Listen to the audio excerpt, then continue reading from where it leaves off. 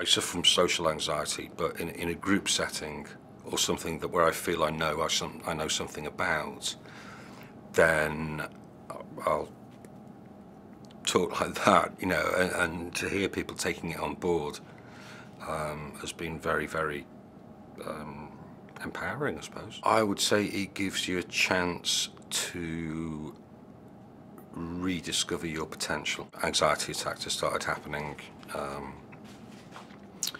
uh, I started self-medicating to get through that. At that time, I was dependent. The group sessions that I've taken part in at the actual college, loved it straight away. And the whole thing's just given me so much more of the confidence that I completely lost. I think it's probably coming up to about a year now that I've been coming to the Recovery College. Yeah. It's called uh, Emotionally Unstable Personality Disorder. It means is um, you're a little bit more sensitive um, with your emotions. At the Recovery College, I go to something called Journeys Through Film. It's helped me get back into my full-time job now as well. There's something for everybody in there. You, what you get, you get a, a, a brochure with all the different courses in. Don't be afraid to go to the sessions because once you're there, you're, you're among people who are sharing your story. It's just a brilliant service. It's there. I, I just feel like the staff that are involved in it are just it's not like staff and service user it's it's like you get to know them and they join in the sessions with you and you, you get to build a good relationship up with them. And I feel like I'm always telling people about the recovery college.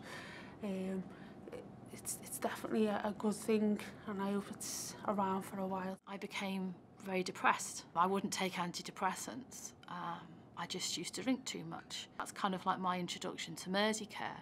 Was firstly by alcohol services support. Um, and from that, I became a volunteer.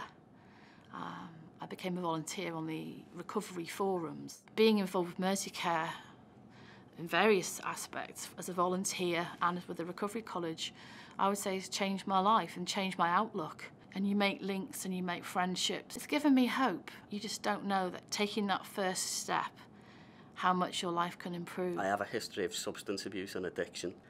So my way of dealing with that was to snort huge quantities of cocaine, mountains of cocaine, um, stick as much alcohol down my head as I possibly could. I, I mean, at the moment, I, I see the potential for long-term investment from me in the Recovery College. Um, it's actually something I'd like to be more involved in. It's, uh, I didn't think I'd actually say about it when it when this started. I mean, that wasn't on my mind, but it is now. Started mutilating myself really badly.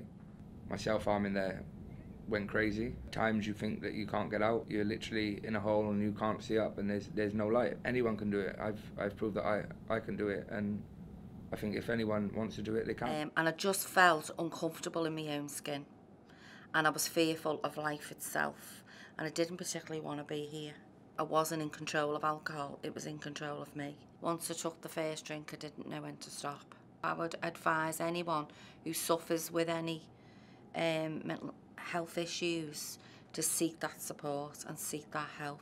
Um, and it's nothing to be ashamed about. You know, it's not a weakness by asking for help. It's a strength. I am not the same girl I was many, many years ago. I've just, honestly, I feel like I've been re reborn.